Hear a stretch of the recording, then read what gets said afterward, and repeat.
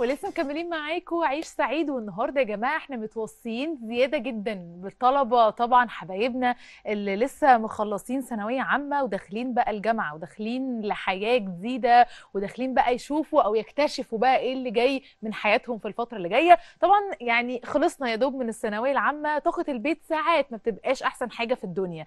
في بيوت بتعرف الحمد لله تتخلص من الطاقة السلبية جدا وإن هي تعمل مود لذيذ وطاقة إيجابية في البيت. في بيوت تانية ما بتعرفش تعمل ده والأهالي بتكون متوترة جدا والطلبة كمان بيكونوا متوترين فده بيشحن زي طاقات سلبية في البيت.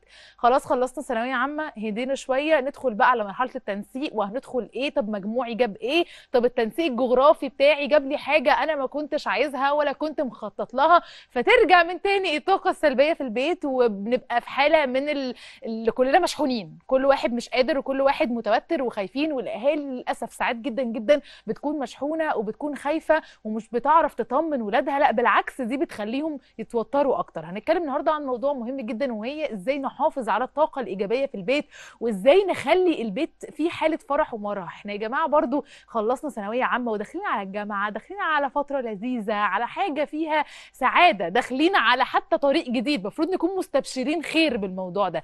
فهنتكلم على إزاي نتخلص من الطاقة السلبية في البيت ويبقى للبيت كده جو هادي نقدر نهيئ فيه ولادنا إن هم يستقبلوا سنة جديدة. منورانا النهارده خبيره علم الطاقة الدكتورة رباب الششتاوي. إزاي حضرتك؟ الحمد لله تمام. منورة الدنيا. ميرسي. منورانا يا دكتور ومنورة عيش سعيد. واحب الأول قبل أي حاجة كده الناس دايما تستخدم كلمة أصل أنا حاسس بطاقة سلبية في المكان. أصل الشخص ده كده طاقته إيجابية ولذيذ ومرح وخفيف.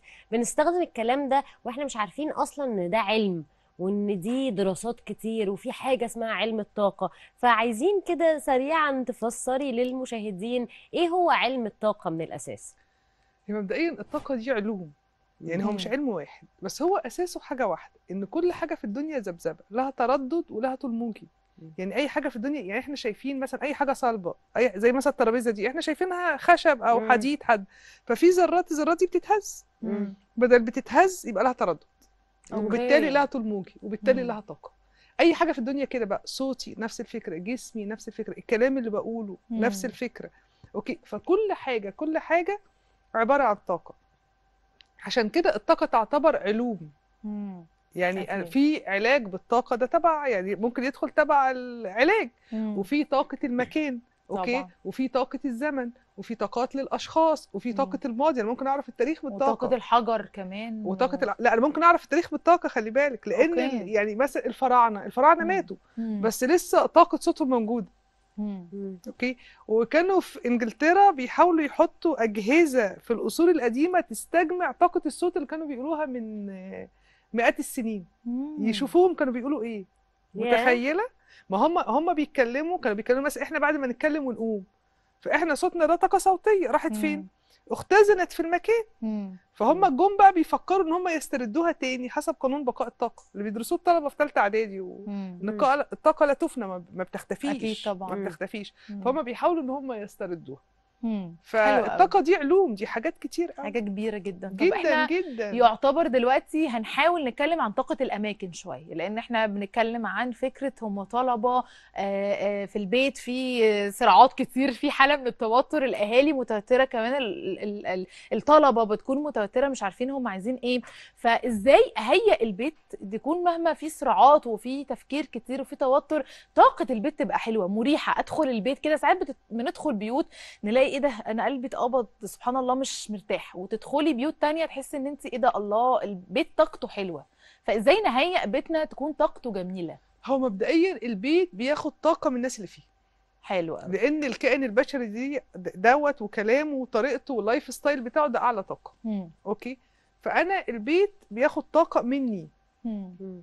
فأنا لازم أكون أنا إيجابية دي أول حاجة تاني حاجة إن في حاجات بتجدد طاقة المكان مم. يعني إن أنا بيتي ميبقاش زحمة ما يبقاش مكركب إن أنا لازم أفتحه الصبح بدري عشان مم. اخد طاقة النهار السعيد مم.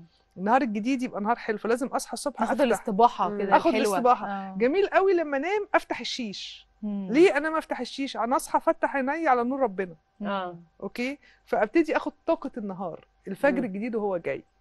فده بي- بيشرح الصدر. يعني حتى لو ما قدرتش أقوم لو أنا حتى شفت الفجر جه قمت كده وقلت هقفل الشيش وأنام تاني. فأنا على الأقل شميت هوا نظيف شفت نور. ربنا الصبح. فده بيشرح فعلا صدري. وبيدخل طاقة جديدة في المكان. إن أنا كل شوية أغير النظام بتاع البيت. فأنا بيحصل سريان في في في, في الطاقة فما تبقاش الطاقة راكدة كده. أوكي؟ إن أنا أهويه إن أنا أخلي الشمس تدخل. طاقة مم. الشمس طاقة كويسة جدا. طبعا. إن أنا أستخدم ألوان. مم. بلاش الحاجات الغوامق في البيت وال مش لطيفة آه. الغوامق مش حلوة الأسود مش لون مم. الناس فاهمة غلط إن الأسود لون الأسود أصلا علميا مش لون الأسود خد كل حاجة وما اداكيش حاجة مم. مم. لأنه بيمتص كل الألوان صح خدنا. كده في العلوم فالأسود مش لون مم. فبلاش الحاجات ال- الغامقة حتى بتكئب كده آه آه مش مش مم. لطيفة تبقى ألوان تبقى زهور تبقى حاجات لطيفة